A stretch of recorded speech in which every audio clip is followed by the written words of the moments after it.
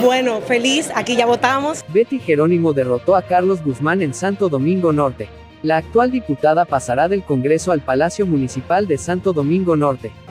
La diputada Betty Jerónimo Santana, fue declarada como ganadora a la alcaldía de Santo Domingo Norte, tras lograr el 55.48% de los votos por encima del candidato de la Alianza Rescate Road, Carlos Guzmán quien obtuvo un 43.67%.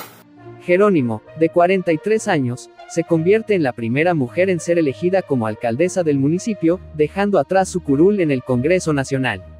Se recuerda que en las pasadas elecciones de 2020, fue la legisladora más votada de la circunscripción 6 de Santo Domingo, con 18.054 votos a su favor.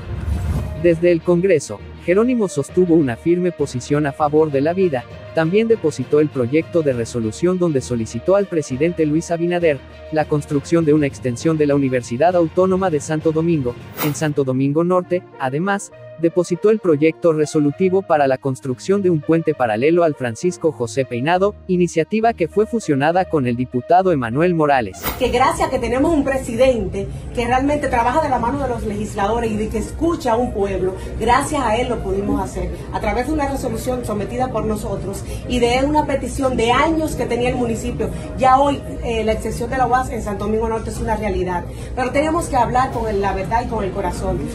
Jerónimo indicó que al llegar a la alcaldía, su gestión estaría enfocada en ejes principales como son la transparencia, inclusión social, identidad y cultura, alianza público-privada y participación ciudadana.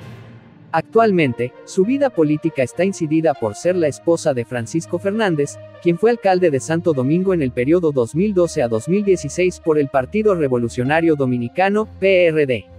Esto es Notidianos, si te gustó el contenido no olvides seguirnos y si puedes compartirlo, mucho mejor. En un trabajo especial les informó Francisco Alberto Vergalarga.